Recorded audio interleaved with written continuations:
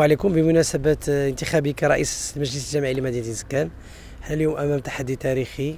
ألا وهو أننا نبداو تغيير في هذه البلاد ونحاولوا نصلحوا ما يمكن يصلحه ونبغي نقول كانوا أننا نتمنى نكون عند الثقة ديال الساكنة. ونتمنى نكون عند حسن الظن ديالهم. ونبغي نشكر الأحزاب المتحالفة معنا في, هذا المجلس.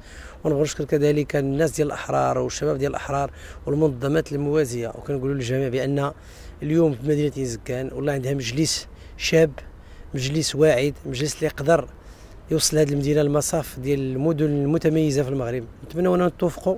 تحقيق الوعود اللي وعدنا للساكنه ونكونوا في المستوى ونكونوا عند حسن الظن ديالهم وشكرا. داكوغ. آه، السلام عليكم. معكم رشيده بوهيه نائبة بالمجلس البلدي الجديد. آه، اليوم تم انتخاب آه، رئيس الجماعة الترابية لمدينة انزكان السيد رشيد المعيفي. وكذلك تم انتخاب النواب وكاتب المجلس ونائبه. وتمت هذه الانتخابات في ظروف جيدة ولله الحمد. وحنا bien sûr كما وضعوا فينا حنا راه وضعوا فينا الساكنة باش نكونوا في هذه الأماكن هادو.